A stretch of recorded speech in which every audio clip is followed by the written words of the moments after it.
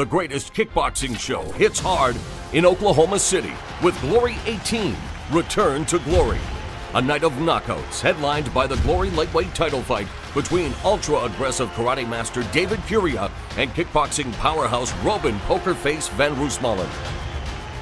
In their two previous meetings, Van Roosmalen emerged victorious, but now Kiria has the belt.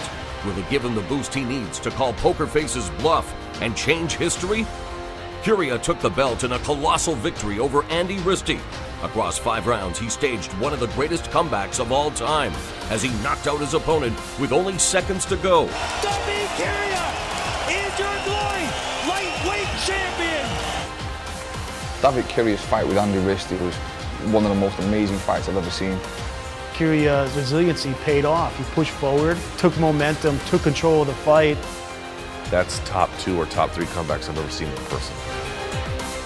Van Roosmalen hates when a fight goes the distance.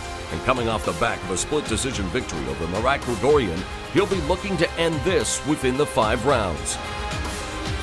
Van Roosmalen um, has the win over Kiria, but yet Kiria has the belt. So going in here, he does have the advantage over the win over him, but it's going to be a tough fight. Kiria has studied his previous fight with Van Roosmalen and thinks he knows the key to victory. But how much can you prepare against a man who has dynamite in both hands? One thing's for sure, underestimate Kiria and you'll leave the ring horizontally. The big guns enter the ring for the light heavyweight contender tournament. In the two semifinals, U.S. Taekwondo and Muay Thai master Brian Collette faces off against Africa's number one heavyweight boxer, Zack Mwekassa.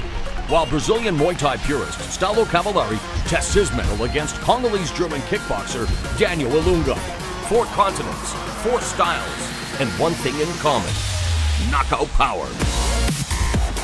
Between them, they have 126 fights with only 10 losses, 90 KO stoppages, and a monstrous combined KO ratio of 71%.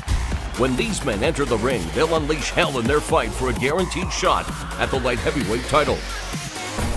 In the co-headline event, the fighter everyone's talking about, American middleweight standout Wayne Barrett. Barrett aims to make the U.S. proud as he locks horns with difficult Dutchman Jason Wilnis. Barrett knows that a win against a Dutch-style kickboxer is just what he needs to get a step closer to a title shot.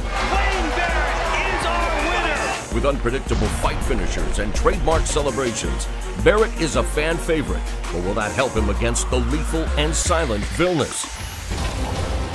And in the Super Fight Series, Oklahoma's own Randy Boom Boom Blake aims to give the hometown crowd a night to remember and leave Virginia's Warren the Destroyer Thompson flat on the canvas.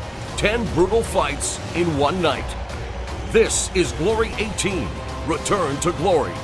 Friday, November 7th, Grand Casino Event Center, Shawnee, Oklahoma. Buy your tickets now at grandboxoffice.com. Live on Spike, 9, 8 Central. Don't miss it.